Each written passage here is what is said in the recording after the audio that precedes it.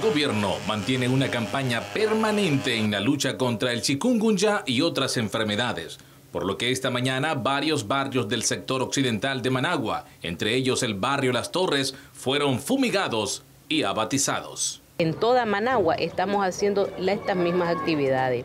Recordemos que siempre en estas eh, acciones intensivas parte del mensaje del compañero Daniel y la compañera Rosario, la preocupación es que entre todos debemos garantizar nuestra salud y nada mejor como haciendo estas actividades en conjunto el Ministerio de Salud, la Alcaldía de Managua, los gabinetes de familia, todos articulados en una sola fuerza para darle esta batalla al mosquito que no nos la puede ganar.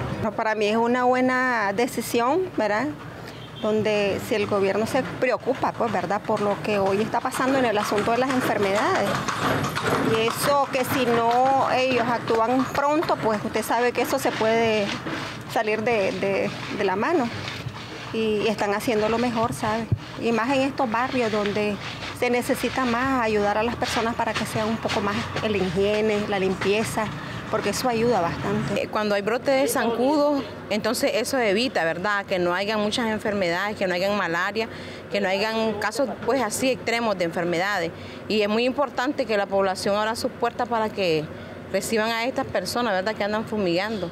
Está bueno esto que están haciendo porque así este, se, se evita tal vez un poco esas enfermedades que andan de que son malas.